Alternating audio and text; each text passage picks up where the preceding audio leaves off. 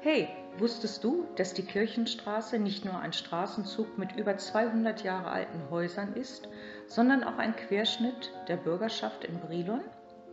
Beschäftigt man sich näher mit den Bewohnern und ihrem Leben, dann finden wir Geschichten, die typisch für Brilon sind. Die Kirchenstraße ist somit ein Panorama für die Vergangenheit der Bürgerinnen und Bürger. Heute haben die Gebäude in der Kirchenstraße eins gemeinsam, das Baujahr. Im Jahr 1808 brach ein Feuer in der Kirchenstraße aus. Die Häuser dort standen sehr eng beieinander und durch die Dächer aus Stroh war es nur eine Frage von Minuten, bis die Flammen die gesamte Straße erfasst hatten. Fast alle Häuser brannten ab oder wurden schwer beschädigt, dass sie abgerissen werden mussten. Die Neubauten entstanden dann unter Vorgabe des hessischen Feuerschutzes. Ausreichend Abstand zu den einzelnen Häusern und Zugangswege für die Löschtrupps sollten fortan verhindern, dass es wieder zu einer Brandkatastrophe kommen konnte. In den nächsten Jahren entstanden vor allem Gebäude, die wir als Ackerbürgerhäuser kennen. Das Haus der Familie Brandenburg in der Kirchenstraße 4 ist ein gutes Beispiel dafür. Es handelt sich um ein zweistöckiges, giebelständiges Fachwerkhaus, dessen Dele von der Seite für die Fuhrwerke einfahrbar war. Schon allein aus diesem Grund war sichergestellt, dass das Haus genügend Platz zum Nachbargebäude aufwies.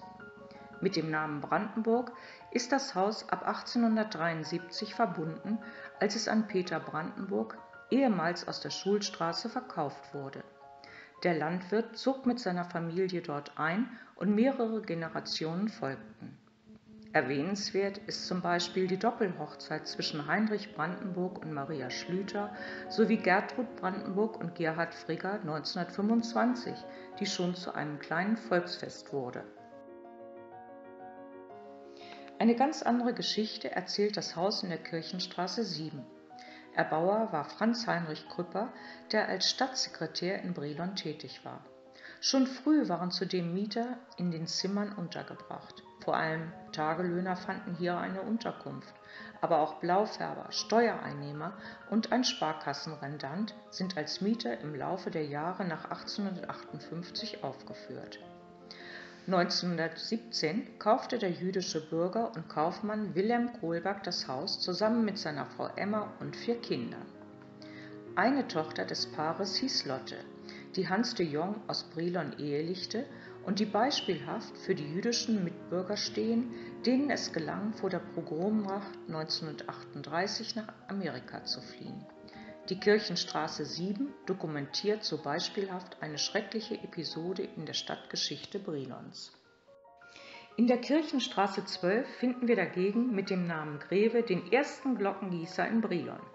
1780 zog Caspar Greve mit seiner Frau Maria nach Brilon. Ob er schon damals in der heutigen Kirchenstraße lebte, ist nicht bekannt. Dessen Sohn, Jakob Greve, bezog jedoch sicher das Haus. Auch er war Glockengießer wie sein Vater und schickte sich an, die Glockengießer-Dynastie in Brilon weiter zu festigen. Heute ist wohl vor allem der Name seines Neffen bekannt. Heinrich Humpert lebte in der Kirchenstraße 11 und dessen Familie betrieb die Glockengießerei ab 1843.